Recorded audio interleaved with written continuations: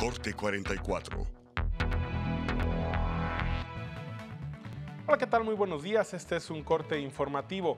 Ordena el Instituto de Transparencia e Información Pública de Jalisco, el ITEI, al Consejo de la Judicatura entregar información a un particular referente al trabajo de los jueces de paz. También el Consejo de la Judicatura deberá proporcionar información a otros ciudadanos sobre algunos incrementos salariales. Por otra parte, la titular del ITEI, Cintia Patricia Cantero Pacheco, informó que fueron multados y amonestados cuatro funcionarios por negar información pública. En otras cosas, crean jóvenes tapatíos el grupo Todos con Ellas, cuyo objetivo es defender los derechos de las mujeres a vivir tranquilas y alcanzar la felicidad.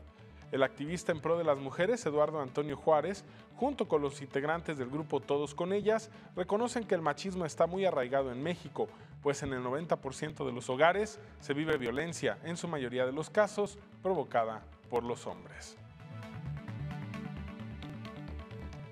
En una hora más información, continúe con nosotros en 44 Noticias.